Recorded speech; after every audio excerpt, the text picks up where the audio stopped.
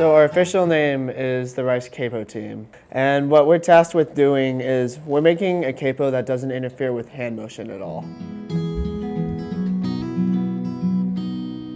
I've been around the OEDK for a long time and I've known about it, um, but totally separately, a friend, Matt Carroll and I were talking and we play a lot of guitar and we play a lot of acoustic guitar and we were just talking about capos and how they had this problem when we play, when we, like right here I'm capoed on the seventh fret.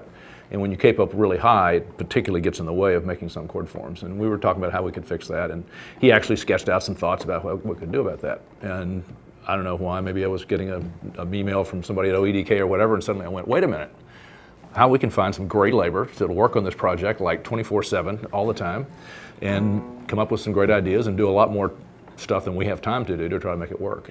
At first, it was incredibly intimidating because I'm like, oh my gosh, I'm a freshman working for this guy. He's on the board of trustees. He's so, so, so important. He's a Rice grad. I was just very intimidated, but it's been a great experience for me. I want to say this is officially the fourth or fifth prototype. Uh, so basically, what we did is instead of having this uh, this little curved metal bar, we have a curved plastic bar uh, that actually interlocks with this upper handle right here uh, through this little thing we cut.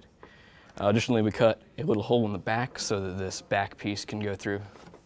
Um, and this back piece is a little, it's still recessed, uh, so you can you have plenty of room to move your hand around it, and that's that's super critical. Um, it's also nice that it's, that it's nice and thin.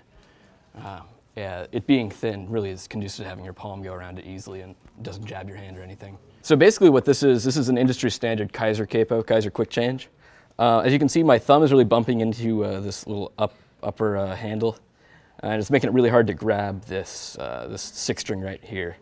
Additionally, when I try to wrap my uh, first finger around to grab this C, to grab this note right here, uh, this, this bar really cuts into my hand. so that's, those are two points of contact that we managed to, to alleviate with our new capo. So this is an F major 7 chord. it's not really possible to do this on a Kyser or a G7, it's one of the more popular capos in store today, but you can see I've got plenty of room to move my thumb around here. Uh, and there's no palm interference in the back, so I can just, I can move my hand wherever. Uh, and there's no, there's no finger interference right here, which is a, a big problem on some chords. I actually have no experience playing the guitar. Um, I play the piano, so I do have music experience. But um, I think this project just really interested me because it addresses a problem that's been around for quite a long time, but people for some reason haven't come up with a solution.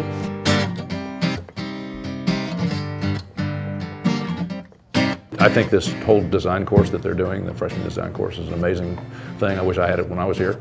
Um, but to me, it's just like an amazing exercise. And for us, it's a lot of fun as the sponsors to get to watch them.